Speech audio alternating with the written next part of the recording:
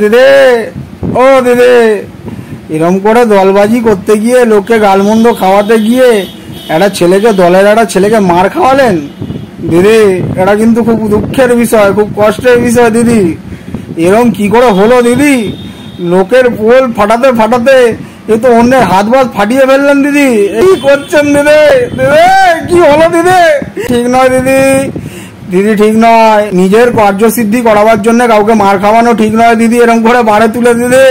মারধর খাওয়াচ্ছেন দিদি। ছি ছি দলের লোককে মারধর খাওয়াচ্ছেন। আরে দুঃখ লাগছে দেখে। যাই হোক ভালো থাকুন সুস্থ থাকুন সুবুদ্ধি আসুক। এটাই চাই। আর কিছু বলার নাই। আর একটা কথা বলি এই দলে যারা যারা রয়েছে ঠিক আছে? এই দলনেতৃত্ব কিন্তু সাবধান, ঠিক আছে?